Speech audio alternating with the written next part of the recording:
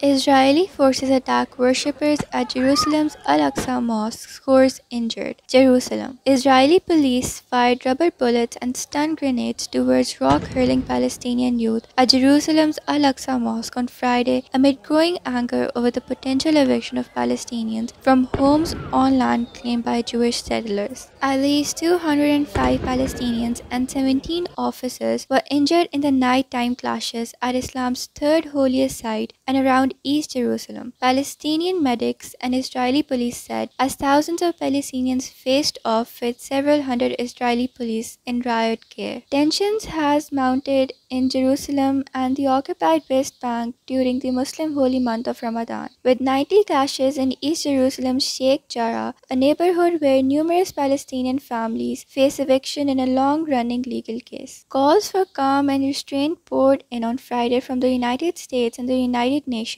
with others including the European Union and Jordan voicing alarm at the possible evictions. Tens of thousands of Palestinians packed into the hilltop compound surrounding the mosque earlier on Friday for prayers. Many stayed onto the protest against the evictions in the city at the core of the Israeli-Palestinian conflict. But following the evening meals that break the Ramadan fast, clashes broke out at Al-Aqsa with smaller scuffles near Sheikh Jarrah, which sits near the walled old city famous Damascus Gate. Israel's Supreme Court will hold a hearing on the Sheikh Jarrah evictions on Monday, the same day that Israel marks Jerusalem Day, its annual celebration of its capture of East Jerusalem during the 1967 Middle East War. The Palestine Red Crescent Ambulance Service said 108 of the Palestinians injured were taken to hospital, with many hit with rubber-coated metal bullets. One of the injured lost an eye. Two suffered serious head wounds and two had their jaws fractured, the Red Crescent said. Most of the rest of the injuries were minor, it added.